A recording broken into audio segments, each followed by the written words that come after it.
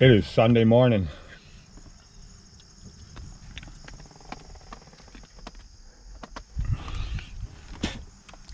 Sunflower seeds.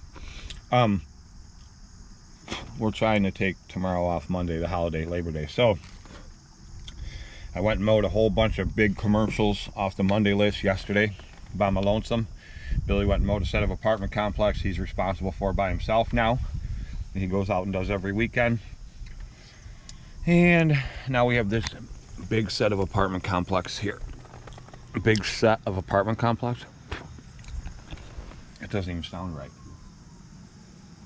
I What? can't. I said big set of apartment complex. I can't even put words together the right way.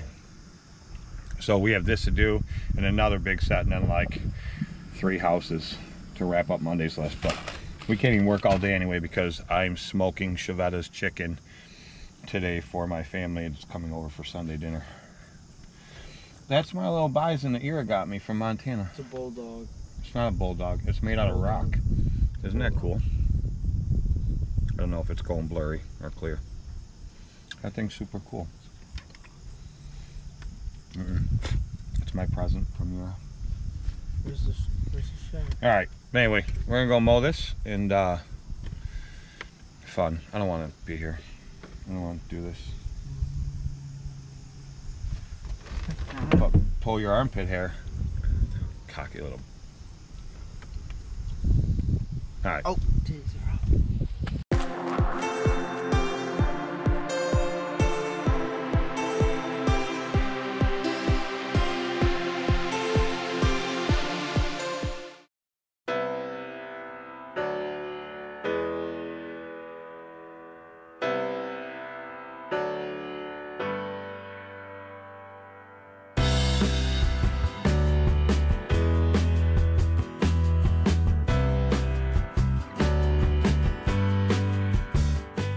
That's a good way to start off a day. Like 9:20 in the morning, we're mowing this house, and it's a super long blacktop driveway.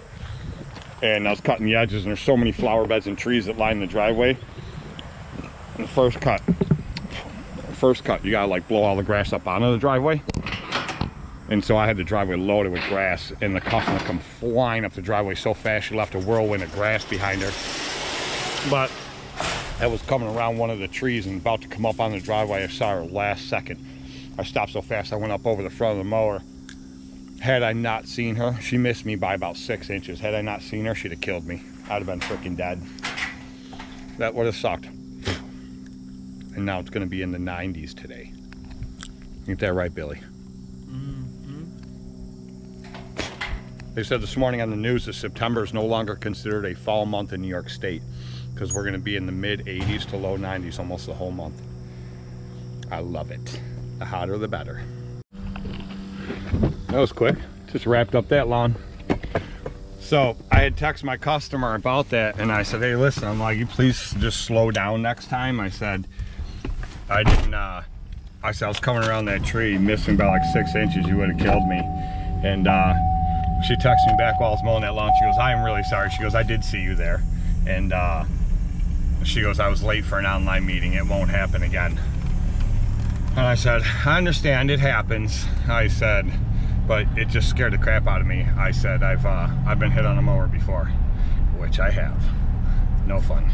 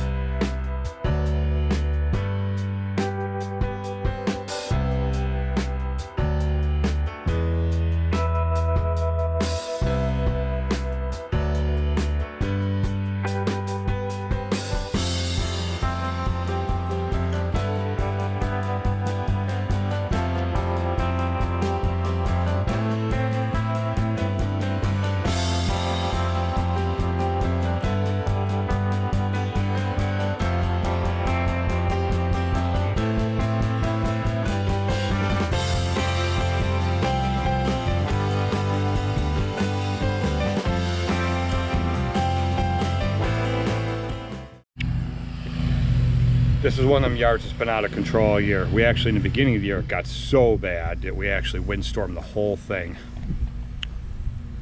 And then it's been fine for a few months and then just started getting bad again. Right along that rock wall edge there, actually starting to turn brown, which is weird, but the rest, still super thick. This here, I cut it at four and a half twice. Look how much grass is on the sidewalk and laying everywhere. The back has been atrocious. So I just had Billy scalp it down. We're gonna take this nice windstorm here. We're gonna go blow it all the woods. Get this thing back in shape again.